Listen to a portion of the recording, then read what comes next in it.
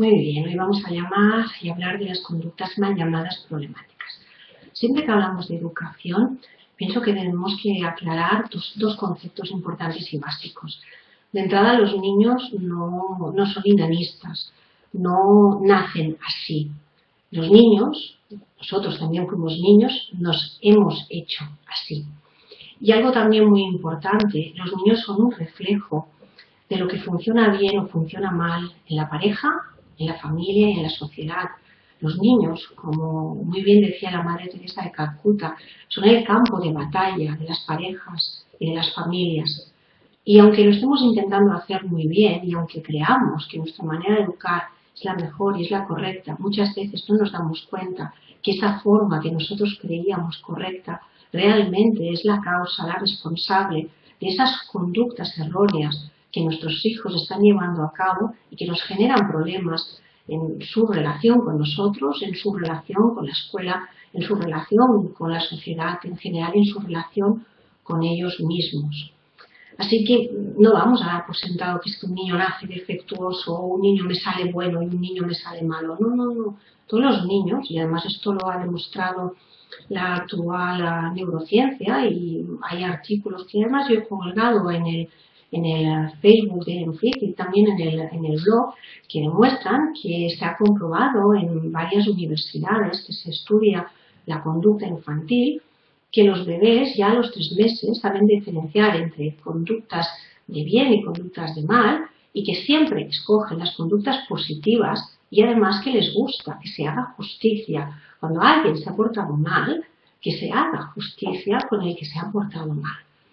Y estamos hablando de bebés de tres meses, ¿eh? O sea que, por lo tanto, los niños nacemos buenos. Es un instinto de adaptación y supervivencia. Por lo tanto, que por favor, ningún padre más, delante mío ni delante de los niños, vuelva a decir que los niños son malos o nacen malos. No, los hacemos malos. Eso es lo más triste. Vamos a empezar un poco con el PowerPoint. La educación que nos dirige a conductas problemáticas están basadas en conductas que o creencias que prolongamos a nivel social y también algunas que estimulamos a nivel familiar. Por lo tanto, vamos a empezar por las primeras. A nivel familiar, ¿qué, solemos hacer muchas veces en lugar de darnos cuenta? Promovemos la inseguridad, no hacemos el refuerzo, no, no promovemos la, la autoestima. Al niño le decimos demasiadas veces que es malo, que se porta mal, que es tonto, que es sucio, que es vago, que no hace bien las cosas y damos por sentado que un niño tiene que saber hacer bien las cosas. No, el niño prueba, ensaya. Y si a la primera le sale como a nosotros nos parece correcto, pues el niño lo ha hecho y lo ha hecho bien. Pero no se lo alabamos tampoco, simplemente lo ha hecho. Y si al niño le sale mal, lo venimos porque lo hace mal. Eso también da luego paso a niños que cuando van a la guardería creen que tienen que ir sabiendo hacer garabatos, sabiendo hacer dibujos y sabiendo pegar gumets. O que cuando están en el colegio tienen que saber sumar o tienen que saber la lección que el profesor les va a enseñar. No es así, vamos a para aprender. No les enseñamos que el error forma parte del conocimiento y no les recordamos lo que está bien y lo que han hecho bien, sino que saben toda la lista de lo que han hecho mal, pero no son conscientes de lo que hacen bien. Y no vale eso que me dicen muchos padres de, pero ella lo sabe. No, él no lo sabe. Tenemos que explicarse lo que lo ha hecho bien. Tenemos que recordarle que hace cosas bien. Tengo montones de adultos que me dicen que no saben nada positivo de ellos y que solo se fijan en las cosas negativas. Estos, en un 60%, padecen de ataques de ansiedad en las edades adultas. Por lo tanto, a nivel familiar, fomentamos sin darnos cuenta la inseguridad en lugar de la autoestima. Fomentamos el tener en lugar de ser. Premiamos con objetos en lugar de con compartir momentos, con compartir tiempos.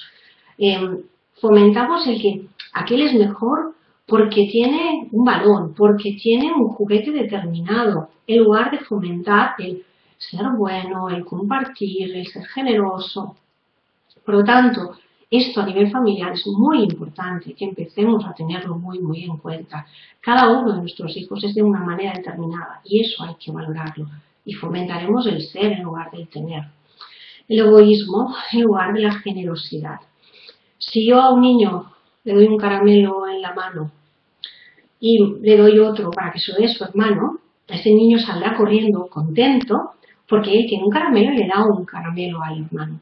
Si yo le pongo dos caramelos y digo, ten cariño, estos dos caramelos son tuyos, y cuando está llegando a la altura del hermano digo, pero ahora de estos dos caramelos tuyos le tienes que dar uno al hermano.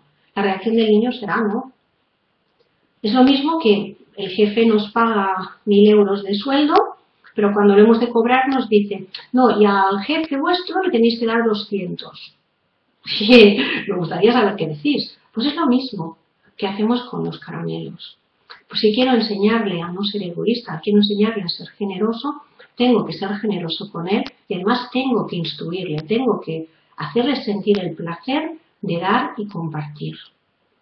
Pero si le quito a él para que dé a otro, eso no da placer, eso me produce inseguridad, me, produce sensación de pobreza. Esto que a veces hacemos los mayores y, y chinchamos a los niños de, ah, está bueno, ¿eh? Pues venga, dame una cucharada. ¿Quieres hacer el favor de darme? Eso no les enseña generosidad. Eso es, me quiero comer un trozo de lo tuyo. La generosidad es, mmm, qué bueno debe estar. Algún día yo lo probaré. Y entonces él automáticamente, seguramente nos ofrecerá. Si nosotros le ofrecemos al niño de lo que nosotros estamos probando, le decimos, prueba, ¿qué te parece? Él aprenderá a darnos para que probemos lo que él está comiendo. Recordad, a un niño no hay que decirle lo que ha de hacer, sino hemos de hacer lo que queremos que él haga. Es no haz lo que yo digo, sino el niño hará lo que yo hago, lo que yo muestro con el ejemplo. El aislamiento lo potenciamos muchísimo en lugar de, de la empatía nos vemos al niño como un enemigo, como alguien que hace las cosas para fastidiarnos, que llora para molestarnos porque al día siguiente nosotros vamos a trabajar, como si él supiera qué ocurre, ¿no? Eh, alguien que está haciendo una pataleta no porque demanda algo, no porque necesita algo, no porque no sabe, no sabe cómo pedirnos lo que necesita, sino como alguien que está haciendo aquello para fastidiarnos, para, porque es vengativo, porque es malo, porque es que nunca puede portarse como yo quiero en el momento que yo quiero, en el instante que yo quiero, de la manera que yo quiero. Esto es normalísimo, ¿no? Que lo hagan los demás. No, evidentemente no. Aislamos al niño para que no me moleste. Y lo aíslo como. Ahora lo hacemos a las mil maravillas. Los niños ya pequeños ya juegan con los móviles de los papás. Si yo quiero que un niño aprenda a utilizar palabras, las mismas palabras que, que utilizo yo, tengo que permitir que ese niño esté escuchando la conversación que llevamos. Y entonces el niño irá aprendiendo palabras complejas. Pero si al niño lo tengo enchufado a unos dibujos animados o lo tengo enchufado a unos juegos de matar marcianos, el niño no escucha, el niño está aislado. Si lo tengo aislado en el televisor viendo sus dibujos mientras yo hago otras cosas, el niño no va a generar empatía, porque yo nunca estoy empático con él. El niño siempre tiene su espacio y no comparte conmigo. Y cuando él viene a mi espacio, yo lo vuelvo a aislar. El individualismo en lugar del equipo. Las familias nos vamos haciendo muy, muy reducidas. Somos personas que compartimos techo, que compartimos la nevera, que compartimos cuarto de baño. Pero evidentemente eh, no les damos responsabilidades, no nos ayudan porque nos es más cómodo hacer las cosas nosotros y por lo tanto fomentamos el ser personas individuales. Antes en casa la gente, se, aunque fuera de clase media, se pintaba la pared y el niño estaba allí ayudándote con el pincel o recogiendo botas. Ahora no se lo dejamos hacer, es un niño, lo hará mal, es torpe. Pero luego cuando tiene 17 años queremos que sepa recoger su habitación, que sepa limpiar el cuarto de baño, que sepa recoger los pelos del baño, pero hasta entonces lo hemos estado haciendo nosotros. Y de pronto, porque un día decidimos que él tiene que saberlo hacer cuando no lo ha hecho nunca, nos enfadamos con él. No hemos colaborado nunca con mi equipo. Hemos funcionado como seres individuales que vivían bajo el mismo techo. Tenemos que fomentar el equipo. Y el equipo no es, te digo que hagas, hazte el favor de hacer. No, el equipo es estar con el niño y el niño estar con nosotros, con espacios donde el niño puede estar jugando, mientras nosotros a lo mejor estamos leyendo un, libro, pero que cuando el niño nos cuenta algo de lo que está jugando, nosotros levantemos la cabeza y le hagamos caso. Y cuando el niño venga y nos pregunte y quiera saber qué estamos leyendo, compartamos y le leamos un trocito de aquello que nosotros estamos haciendo. Y que cuando estemos en la cocina decimos que el niño nos ayuden aquellas cosas que no se ponen en peligro su integridad, pero que el niño esté allí. Vayamos a compartir, vayamos a ser un equipo, pero para eso la pareja también tiene que serlo. La hipocresía, vamos, comentamos eso muchísimo, ¿no? No soportamos a no sé qué vecina, pero obligamos a que el niño le dé un beso. No nos gusta ir a casa de la suegra y la dejamos ver delante de los niños sin pensar que es la madre de nuestra pareja y la abuela del niño y luego queremos que el niño le ponga buena cara y esa abuela le guste. Eh, no queremos que el niño mienta y en cambio nosotros estamos diciendo mentiras piadosas permanente y constantemente por quedar bien. Por lo tanto, el niño si va a hacer lo que ve y no lo que nosotros le decimos, estamos enseñándole a que también nos ha de mentir. Por lo tanto, fomentamos la hipocresía en lugar de, la transparencia porque nosotros la utilizamos. A nivel social, evidentemente, fomentamos el consumismo sobre el consumo sostenible, la intolerancia sobre la flexibilidad. Y pienso que en los debates políticos esto ya hace muchos años que lo estamos viendo. Lo estamos viendo en, el deporte, lo estamos viendo en todas las áreas en estos momentos de, de la sociedad. No escuchamos al otro, no lo vemos siempre como algo a quien no practicamos oposición, practicamos oponernos. Por lo tanto, estamos practicando la intolerancia. No hay flexibilidad. No me pongo en tus zapatos y luego buscamos un punto medio de encuentro. Es siempre ganar o perder. La estrechez mental sobre mentes abiertas, innovadoras, a los niños les obligamos a aprender contenidos, a memorizar contenidos, pero no uh, motivamos lo más importante para que exista el aprendizaje, que es motivar la curiosidad. El enseñarles y darles herramientas para que ellos tengan necesidad de buscar conocimiento, de saborear el conocimiento, de preguntar, de descubrir. No, los tenemos sentados bastante inmóviles, leyendo un texto, subrayando un texto, diciendo que solo han de aprenderse aquel trozo del texto. Y además siendo dogmáticos a la hora de enseñar. Esto es lo que dice el texto y no me voy a pasar del texto cuando tú me hagas preguntas porque me tengo que extender demasiado y tengo que cumplir con el texto. Por lo tanto, estamos haciendo personas aborregadas, no personas que realmente puedan ser innovadoras y que puedan ver las cosas investigar y experimentar las cosas desde otro lugar. Un cuenco, un bol, puede ser muchas cosas. Puede ser un sombrero, puede ser una cazuela de sujetador, puede ser ah, un lugar donde depositar botones y guardarlos ahí dentro, puede ser un sitio para darle de beber al perro, puede ser um, un lugar donde amontonar objetos, puede ser ha puesto cabeza abajo la cara de una muñeca, cuando solo puede ser un bol y no se puede jugar con él porque eso sirve para comer, estoy cortando cualquier desarrollo de capacidad, estoy desarrollando a cualquier pequeño innovador, a cualquier pequeño emprendedor. El dogmatismo, ah, las cosas son así porque yo las digo. No, el niño tiene un razonamiento, evidentemente de niño, y tiene sus conclusiones y evidentemente le falta información. Pero si respetamos esa inteligencia que él tiene, el niño poco a poco irá incorporando los nuevos conocimientos que le faltan y llegará a un punto en el que se sacará conclusiones realmente muy interesantes y será un gran pensador. Cuando yo le impongo el criterio y no respeto la inteligencia del otro, evidentemente no le permito ser inteligente, solo le permito ser obediente, o bien un rebelde sin causa permanente y constante, o un desmotivado. ¿Para qué esforzarse? ¿Para, hacer, ¿Para qué hacer nada? Si me vas a negarlo todo y me vas a reprimir en todo. Para eso ya no intento nada, me quedo muerto. Y evidentemente el estrés por encima de la salud. Yo veo niños con cuatro años que tienen una agenda que solo cuando me la cuentan los padres la que se estresa soy yo porque hacen de actividades que si el que si el, que si el violín, que si el ballet, que si el no sé qué, dices que tiene tres años, ¿cuándo va a jugar, por favor? O sea, queremos que sean una extensión de nosotros y sentirnos tan orgullosos de nosotros mismos a través de ellos que muchas veces no nos damos cuenta que realmente los llevamos tan estresados. O cuando los despertamos con poco tiempo y queremos que ellos reaccionen como adultos espitosos y llegamos tarde a todas partes y vamos tirando del niño, le vamos gritando, no, por favor, levántale con el tiempo lógico y correcto para que un niño pueda levantarse, vestirse, desayunar e ir al colegio con tiempo suficiente.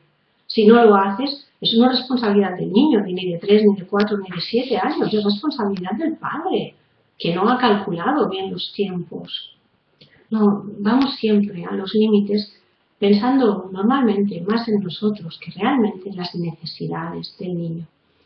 Evidentemente, todo lo que fue educado puede ser cambiado o reeducado. A mí una cosa que me llamó mucho la atención cuando, hace muchos años, cuando empecé a estudiar, y entremos en una asignatura que, que hacía aprender las distintas escuelas de, de, psicología que en aquel momento existían, después se han ido incorporando algunas más, o se han ido oficializando algunas más, a mí lo que me llamaba la atención, y recuerdo haber preguntado una vez a ese profesor de esta asignatura, era que si todos los problemas, o el 80% de los problemas que vivíamos y experimentábamos los adultos, o nuestros fracasos, nuestras ausencias de éxitos, tenían que ver con nuestra autoestima y tenían que ver con nuestras experiencias vividas entre el momento del nacimiento o incluso ahora ya se incorpora el embarazo y, y los 20 años, que es cuando se configura, se termina de cerrar nuestra personalidad, ¿por qué no educábamos a los padres? Y así mm, tendríamos niños que crecerían sin traumas. El profesor me dijo si me quería cargar el negocio. Ahora pienso que tal vez hasta me lo dijo en serio. En aquel momento nos pensamos que, que lo decía en broma, pero yo pienso que lo debió decir en serio. Si los traumas que tenemos de adultos, si nuestras partes de vida que no funcionan bien, si todo aquello que nosotros no sabemos gestionar se configuró en la educación recibida y en las vivencias compartidas a nivel social, a nivel familiar, a nivel, a nivel parental, nuestras experiencias de ciclo vital en la infancia y en el desarrollo de la pubertad. ¿Por qué no damos un manual de instrucciones? ¿Por qué no enseñamos a los padres, a los profesores y a la sociedad a recibir a los niños de manera que el día de mañana sean adultos, sin prácticamente traumas, centrados, sanos mentalmente. Sigo preguntándomelo. Lo que sí que es verdad que en estos momentos tengo algunos padres y esto a mí me produce mucho, mucho orgullo. Y además de distintas clases sociales, o sea, tanto gente que no tiene una economía demasiado exuberante como otra gente que tiene un potencial educativo y un potencial económico importante, que vienen a la consulta para preguntarme cómo hacerlo bien y que me plantean situaciones que les ocurren con sus niños de dos años, con sus niños de 18 meses, con sus niños de tres años y me preguntan qué estoy haciendo mal en esta situación, qué he de cambiar, cómo he de ayudar al niño en función de cómo es. Y me traen al niño, vemos al niño y luego simplemente sigo trabajando con ellos para poderles dar directrices para que ese niño pueda crecer realmente en armonía. Y un niño que crece en armonía será un adulto con autoestima, y un adulto con autoestima será un adulto con éxito. No hablo de fama. La fama puede formar parte de un éxito que alguien desee, pero sí el éxito como el concepto de me atrevo a realizar mis sueños, me atrevo a ser yo mismo, porque creo en mí.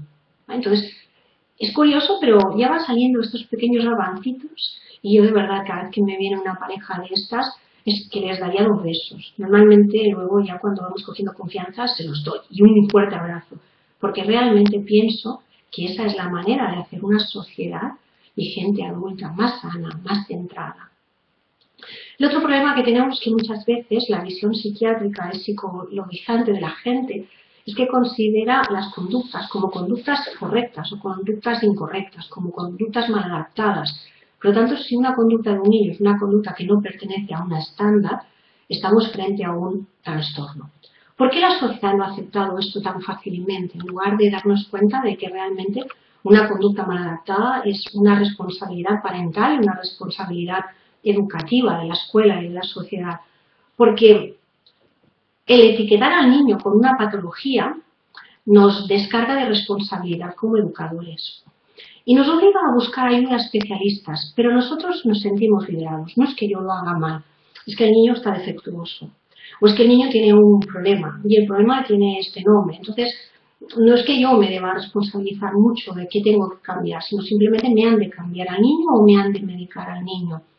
Y a partir de ahí me lamentaré frente a la familia de, oh, qué mala suerte tengo, ¿no? Es esa idea de nanista, ¿no? De que somos, los, somos setas de aparición espontánea, ¿no? Y somos así simplemente porque hemos tenido la buena suerte o la mala suerte de ser más defectuosos o, menos defectuosos. No es así. Sabemos que nuestra personalidad se, crea, se, se moldea, nuestra conducta es, algo repetitivo, son hábitos de respuesta frente a determinadas cosas. Mi personalidad puede ser a veces imprevisible, pero mi conducta no. Si no, no podríamos hacer series tan divertidas para algunos como mentes criminales, donde se hace un perfil y podemos saber que la persona que ha hecho una cosa más de dos veces o una tercera corresponde a un hábito de respuesta, a una conducta concreta. Las personas, en cuanto a conductas, somos tremendamente previsibles. Tú pones unos hechos de la vida en un programa de ordenador de una persona y ese programa de ordenador te dirá cómo será la vida de esta persona en los siguientes 25 años. Es así de predecible cuando se generan las conductas. Las conductas son siempre educadas. Por lo tanto, una conducta perturbadora, una conducta mal adaptada, es el resultado de una educación equivocada, pero no de una psicopatología del niño. Entonces, si nosotros entendemos que es el resultado de una educación equivocada, asumiremos la responsabilidad frente al niño, frente a la sociedad como padres o como educadores. Y por lo tanto, podremos modificar nuestras actitudes, nuestras maneras de relacionarnos y por lo tanto el niño podrá tener un proceso de estabilización y de tranquilidad, podrá dejar de necesitar el síntoma para podernos llamar la atención.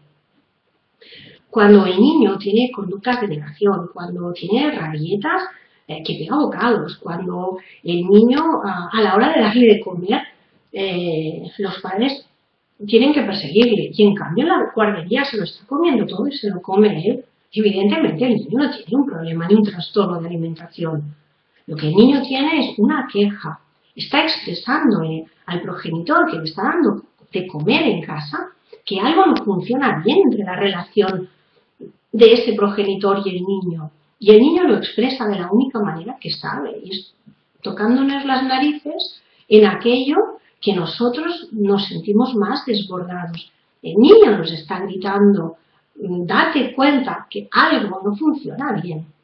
Cuando estos padres que me vienen les hablas de cómo modificar pautas, las primeras veces me dicen que no se han atrevido a hacerlo porque, uff, pero cuando lo prueban, porque están realmente ya desesperados, me dicen, mm, es que a la tercera vez eh, todo se colocó en su sitio. Es que el niño te estaba diciendo algo. Y yo lo único que he hecho ha sido traducirte qué te está diciendo el niño. ¿Qué te está demandando el niño? Por lo tanto, cualquier síntoma, cualquier actuación que nos ah, descoloca, que nos hace sentirnos mal, que nos hace estar en lucha, es de alguna manera una llamada de atención, es un lenguaje que el niño tiene, que es el único que puede tener, porque no sabe explicarnos, mira papá, eres un desastre. Y cuando me das de comer, me haces a sentir que no te importo, porque estás por todo menos por mí. Entonces, la única manera de tenerte más rato pendiente de mí es no comiendo y tocándote las narices, porque así estás todo el rato mirándome, estás todo el rato hablándome. Es igual si me chillas, y es igual si... Porque yo no sé la diferencia que hay entre que me trates bien o chilles. Porque esta es la única manera que he encontrado de que me mires y de que yo exista para ti. Es eso lo que el niño nos está diciendo muchas veces cuando se porta mal. También cuando el niño se porta mal tenemos que plantearnos ah, qué está ocurriendo, no solo qué motivos puede tener, sino también a veces si las, bases de alimentación, de ambiente, de sueño, de comunicación con el niño están, ah, están bien cubiertas. El niño no es un muñeco de famosa al que le ponemos y le quitamos las pilas, ni tampoco es alguien que entienda todos los hábitos y los ritmos, ni cuando está bien hacer una cosa o no. Por lo tanto, las necesidades básicas de un niño tienen que ser estas. El sueño. Es importantísimo que duerma el número de horas necesarias y es muy importante que hasta los, bien bien los cuatro años, haga una pequeña siesta por la tarde. Por lo tanto, el sueño es algo importante. No es que el niño no quiere dormir, no, no, no, no. Hay que lograr, hay que tener paciencia y hay que conseguir que el niño descanse un poco por la tarde y hay que fomentar hábitos saludables para inducirlo a los ritmos de sueño nocturno. Un niño pequeño no puede dormir 5 y 6 horas como hay niños que me encuentro que están viendo la televisión hasta las 2 de la madrugada y al día siguiente los levantamos a las 8 de la mañana para ir al colegio. No es que así estoy con él. No, pero es que esto no es estar con él, esto es destrozar la salud del niño. Estamos perjudicando sus hormonas de crecimiento, estamos ah, perjudicando su reparación neuronal cognitiva. No es sano. Ah, es que llora. Bueno, bien, pero vamos a explicarle para que no llore, vamos a educarlo, vamos a llevar un ritmo con él. No hablo de metro escribille, sino vamos a ir induciéndole poco a poco a entender que hay unos hábitos y que hay unos, unos ritmos. La alimentación. Es importante que el niño tenga unos hábitos, unos ritmos y unos horarios de alimentación. No que un día coma a las 2 del mediodía y otro día a las 5 de la tarde porque a nosotros nos ha apetecido hacer no sé qué. El niño tiene que tener su horario, tiene que tener su ritmo. Tiene que haber coherencia. Buena comunicación es coherencia entre lo que hago y lo que digo. Y sobre todo tiene que haber coherencia entre los dos padres. Eh, más o menos los dos tenemos que ser coherentes con los estilos educativos, con la manera de afrontar la comida. Y si hay mucha diferencia, entonces el que no está de acuerdo en los modos, lo que debe hacer es dejar en manos del otro aquella tarea. Porque si, si hay lucha, el niño no va a entender qué ocurre y va a entrar en esa lucha. Y sobre todo, sobre todo, siempre cumplir con la palabra dada. Muchas veces les decimos, mira, si te portas bien, luego iremos al parque. Pero luego se nos ha hecho tarde y no vamos al parque. Con lo cual al niño le hemos dicho que tanto da si se porta bien como si se porta mal, porque nosotros no vamos a cumplir. Entonces, ¿por qué tiene que cumplir él? Entonces, es muy importante que si damos una palabra, la hemos de cumplir. ¿Se portan mal cuándo? Cuando están cansados o tienen hambre. Por eso es importante respetar los horarios de comida. Estemos de vacaciones, estemos en la playa, estemos en casa de los abuelos, estemos en casa de unos amigos. Van a percibir el estrés o el nerviosismo del ambiente. Por ejemplo, tengo una pareja que viajan mucho por trabajo de los dos, ¿no? Y me comentaban rabietas y cosas del niño. Y decía, sí, claro, te hace la rabieta cuando estás preparando las maletas y también explota cuando acabáis de llevar al sitio. ¿Por qué? Porque el niño percibe vuestro estrés, estáis estresados, no intentando no dejaros nada, vais a vivir tres meses fuera de vuestro país. Y cuando llegáis al lugar, el niño desconoce el entorno, no, lo tiene reconocido y por lo tanto también ve vuestro nerviosismo porque tampoco conocéis el entorno, os estáis ah, colocando en él, habituando en él, no encontráis las cosas que necesitáis el niño se contagia de eso, por lo tanto, el niño muy probablemente nos haga una marranada espectacular. Está exteriorizando la marranada que haríamos nosotros si fuéramos más pequeños.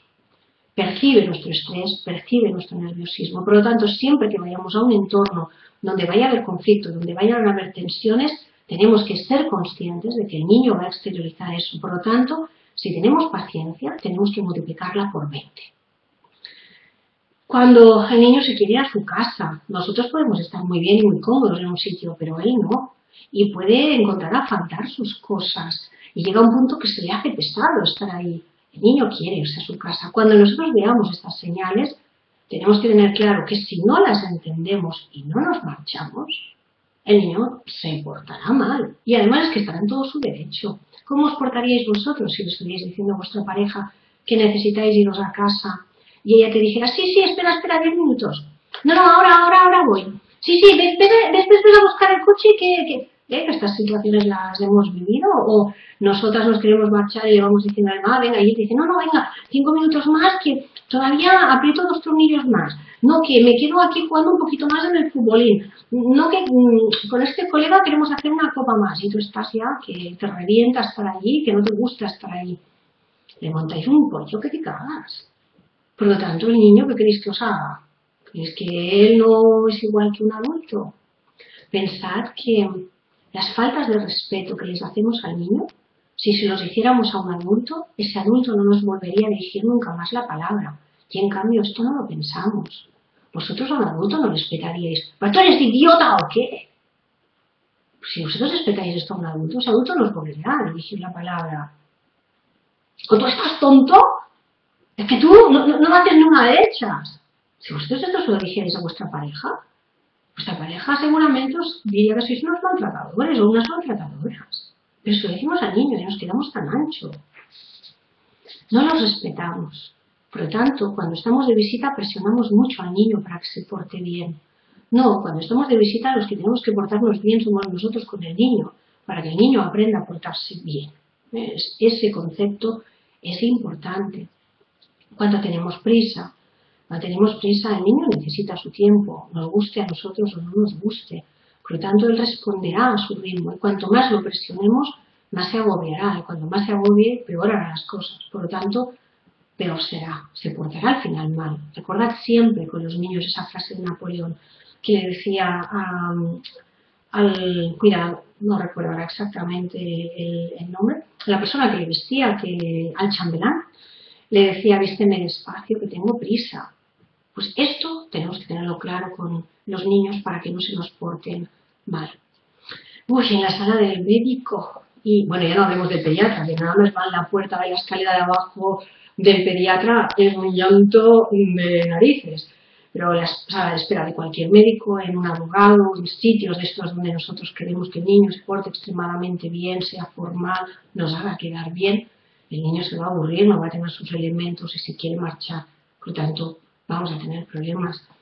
Cuando vamos de compras, pero de compras para nosotros, cuando solo respetamos nuestro ritmo, cuando vamos de compras no respetamos el ritmo de, ellos y no entendemos que para nosotros a lo mejor puede ser divertido. Para mí no lo es mucho, así que los entiendo perfectamente.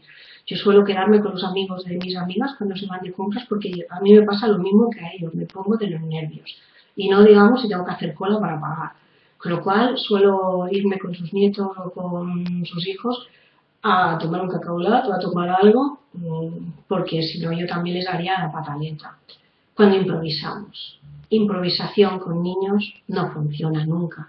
Siempre termina con el niño teniendo problemas, porque el niño no va a poder adaptarse a nuestras improvisaciones. Nos vamos a encontrar que no vamos a encontrar restaurante, su hora de comida va a ser tarde, la comida o el restaurante que vamos a encontrar no va a haber comida para ellos, etcétera, etcétera, etcétera.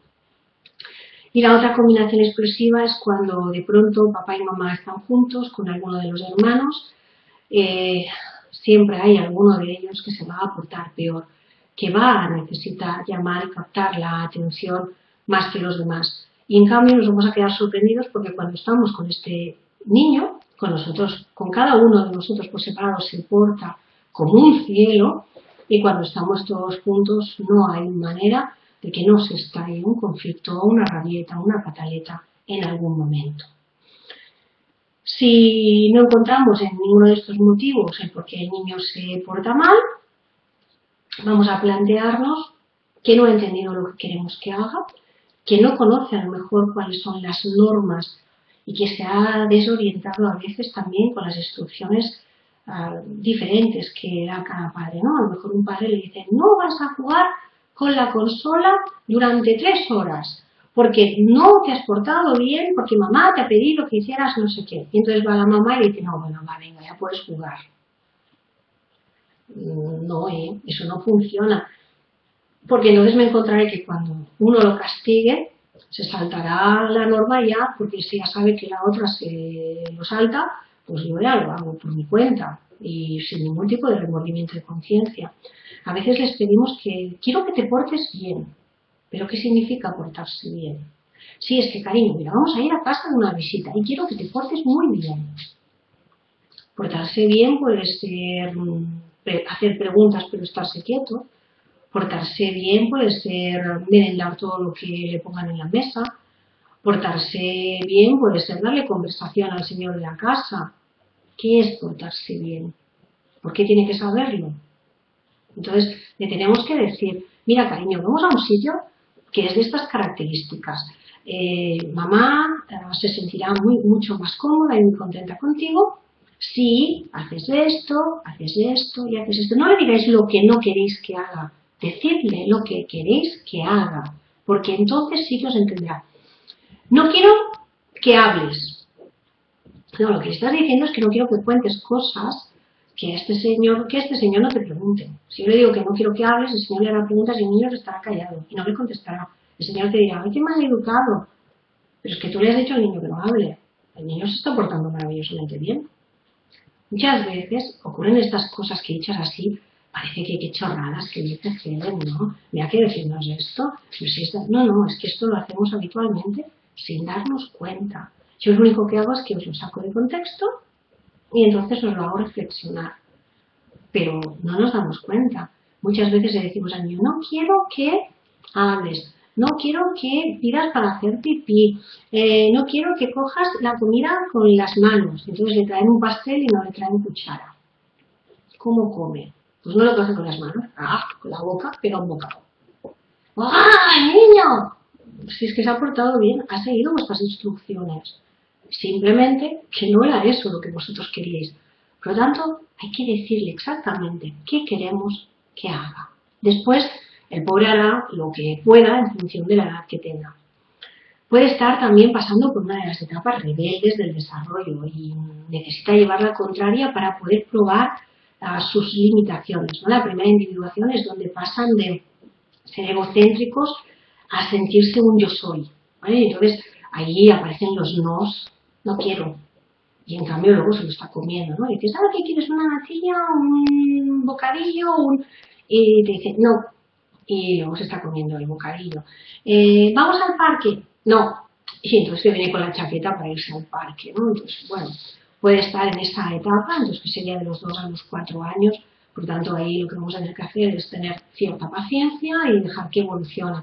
O en la primera adolescencia y pubertad, que es de los 12 a los 15 años, que evidentemente es una etapa en la que ellos necesitan tener la sensación de que tienen control por primera vez de su vida y que pueden negociar con los adultos de tú a tú y entonces no, no entran en, la, en el intercambio de opiniones, sino lo que entran es la oposición, para demostrarse a sí mismos que ellos también son mayores. Entonces, ahí evidentemente vamos a tener que tener mucha paciencia, vamos a tener que saber negociar, porque si nos imponemos y aplastamos al niño, le vamos a convertir o en un sumiso o le vamos a convertir en un rebelde sin causa. Ay, cuando intentan llamar la atención, ¿por qué puede ser? Pues por una baja autoestima. Me siento muy inseguro, no siento que pueda hacer las cosas por mí mismo, por lo tanto llamo la atención. Pueden haber celos, no, no he llevado bien el duelo de, de que ha nacido otro hermano y yo me siento desplazado. Y entonces estoy intentando probar que realmente sigo importante. Puedo tener problemas de adaptación social, puedo ser más tímido, puedo ser menos extrovertido que alguno de mis hermanos o incluso que mis padres, y entonces me cuesta tener amigos. O entro en una cultura o una sociedad que no es la mía y por lo tanto hasta que yo no entiendo realmente cómo se comporta la gente en, en esas zonas o qué es lo correcto e incorrecto en ese entorno, voy a estar más retraído. Eso mm, generará tensión, generará llamadas de atención luego a posteriori en casa o con, la familia. Pueden haber problemas escolares, puedo tener un problema de dislexia. La dislexia ha sido algo que se ha hablado de ello, pero que realmente ha sido un gran desconocido y que en muchos casos niños a los que se ha etiquetado de tontos, es que realmente, que no lo son ni mucho menos, es que eran disléxicos, por lo tanto tenían unos problemas añadidos a los que tenían los demás niños mientras iban aprendiendo e iban creciendo. La supradotación, ¿eh? antes se llamaba superdotados, ahora se llama supradotados, también es un problema. Nos pensamos que un niño supradotado mm, se sabe las cosas por ciencia infusa, ¿no? Es supradotado, mm, por lo tanto, es que ya sabe multiplicar. No, un supradotado es un niño que tiene unos intereses muy concretos y unas curiosidades muy desarrolladas en unos campos determinados. Y esto hace que sea muy preguntón, muy, que observa mucho las cosas, que analice mucho las cosas, pero luego cuando está en clase se aburre como una ostra, porque la forma de educación que tenemos en nuestras escuelas no son estimuladoras de la curiosidad, son, y además tampoco permiten el razonamiento y el procesado de, de ideas. Por lo tanto, un niño superdotado en clase se aburre. Si se aburre, desconecta. Y si desconecta, no aprende. Entonces, vamos a tener niños con problemas de superdotación que luego van a tener problemas de, superar las, las etapas escolares y de adaptación. El famoso trastorno de déficit de atención con sin hiperactividad, que evidentemente ahora todos ah, los colegios de psicólogos y en estos momentos todas las líneas psiquiátricas más vanguardistas y más nuevas, no hablo de alternativas, eh, hablo de colegios de psicólogos, como por ejemplo el Colegio de Psicólogos de Cataluña, están recomendando no medicar a los niños, porque las medicaciones que se están dando para este tipo de trastornos son ah, derivados de anfetaminas, por lo tanto terminan generando al, a un medio plazo muchos más problemas que de reeducar realmente al niño y el de dar unas reglas básicas. Eh, si entráis también en mi blog o en mi Facebook veréis que tengo recomendaciones y una guía también del Colegio de, Psicólogos y de asociaciones de padres en las que damos recomendaciones para tanto la escuela como la vida diaria ayudar a reconducir los problemas de déficit de atención sin necesidad de medicaciones. Y las reglas más básicas, ser coherentes, generar contacto físico y visual con el niño, poneros a su altura cuando le habéis, tocarlo, cogerlo, pero no solo para zarandearlo cuando le riñáis, o no solo le digas que o sea, sino contacto físico, contacto visual, sonrisa, amorosidad, demostrarle incondicionalidad tener uniformidad de criterio. No uno va dando bofetadas y palizas. Tengo a veces padres que me piden permiso para pegar a los niños, porque a ellos les pegaron y les fue muy bien. Ah, por favor, hay que negociar, hay que hablar. El castigo corporal, nunca. No lo aceptamos. O sea, nunca aceptaríamos un marido ser pegado por la esposa y, un marido que pegue a la esposa y en cambio sí que aceptamos como correcto pegar al hijo. Por favor, si hay escuelas de educación de perros que no permiten pegarles, vamos a aceptar pegar al niño, me parece ya la humillación más, más tremenda que podemos tener hacia nuestros hijos. Hay que tener uniformidad de criterio, hay que establecer una distancia jerárquica entre el niño, es decir, yo tengo la responsabilidad, yo dirijo, no te pido a ti que decidas por mí, yo estoy decidiendo con tu opinión, con tu, con, contando con tus gustos, pero yo soy el que tengo la responsabilidad de ti, si no el niño no se va a sentir protegido. Tenemos que fomentar el respeto y para eso, yo aunque tenga tres años, llamo en la puerta, eh, les digo que voy a entrar, eh, les comento lo que vamos a hacer, para que ellos aprendan a hacer lo mismo, les enseño a cerrar la luz, a abrir la luz, o sea, yo hago aquello que quiero que ellos hagan. Les pido por favor y les pido disculpas porque si no, él no va a aprender a hacérmelo. Entonces, claro, todo el mundo me dice, aquí hay niños más educados. No, no, es que yo lo hago con ellos eso. Credibilidad, cumplir siempre lo pactado. La credibilidad es básica. Si no creen en vosotros, ¿cómo van a poder creer nunca en nadie? Y alabanza es el reconocimiento, admirar, ensalzar, agradecer al niño cuando se porta bien o se muestra colaborador o generoso. Él no sabe lo que es correcto y lo que es incorrecto. Romper un muñeco puede ser tan correcto como cuidarlo. Por lo tanto, él tiene que detectar que está haciendo las cosas bien. Y los niños no lo saben ya que está bien, no. Se lo hemos de hacer saber que aquello está bien. Si no solo saben lo que hacen mal, la conclusión que sacan de ellos mismos es que son un auténtico desastre. Y por favor, el buen ambiente familiar. Generamos demasiada ansiedad, demasiada persecución, demasiado mal rollo dentro de la casa. Reír cinco minutos al día hace que trabajen 400 músculos, que el sistema endocrino ordene al cerebro la secreción de endorfinas, que ayuda a paliar las sensaciones negativas. Nos da también y nos transmite sensación de seguridad, de armonía. Pensad que si nos riéramos cada día un poco, no haría falta ni siquiera meditar ni hacer relajación. Reír favorecerá la adrenalina, que es la responsable de la creatividad, de la imaginación, de la rapidez mental, no solo del estado de alerta, de la dopamina, que va a facilitar la memoria y el que podamos unir información entre ella, de la serotonina, que calmará la ansiedad y las conductas compulsivas, y no permite la aparición de la melancolía, que en los casos más extremos se convertirá en depresión. En estos momentos estamos teniendo niños de tres años con depresión. Imaginaros qué estamos haciendo con nosotros para que un niño de tres años tenga que ir al pediatra y el pediatra nos lo derive con tres años porque está depresivo. Es triste que hagamos estas cosas a nuestros propios hijos sin ser ni siquiera conscientes de lo que les estamos transmitiendo. Y el que yo esté triste no tiene que ser motivo de que el niño tenga depresión. Y que yo no comparta con el niño ningún tiempo y el que yo no tenga ningún gesto con el niño de querer compartir con él cosas, de que le transmita al niño permanentemente que me es una carga, esto es lo que le hará estar triste, porque se hace, le hace sentir a él rechazado y defectuoso. Recordar, el verbo hacer siempre puede más que el verbo querer. Cuando me decís, yo querría ser un buen padre, no, es obra, haz como un buen padre, no quieras, hazlo. Entonces, intentemos ir haciendo pequeñas modificaciones, pequeños cambios, y de verdad no solo lo agradecerán vuestros hijos, es que lo agradeceréis vosotros cuando estos hijos tengan un día, no sé, 29 años, a 25, y de pronto os digan, frente a una situación de cambio vital en su vida importante, os vengan y os digan, ¿cómo os te agradezco que en los momentos difíciles siempre has sabido estar a mi lado? ¿Cómo?